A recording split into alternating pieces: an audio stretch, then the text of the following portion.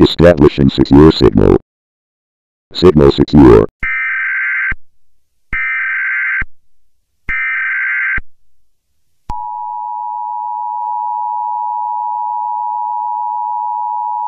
The following message is transmitted at the request of the Centers for Disease Control and Prevention.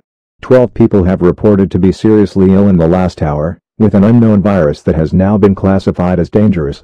If you display the following symptoms, headache, nausea, vomiting, coughing, sneezing, sore throat, swollen tonsils, and mental confusion, you will be admitted to a hospital. This is Channel 49. We would like to inform you that there is no disease warning in effect. There is no outbreak.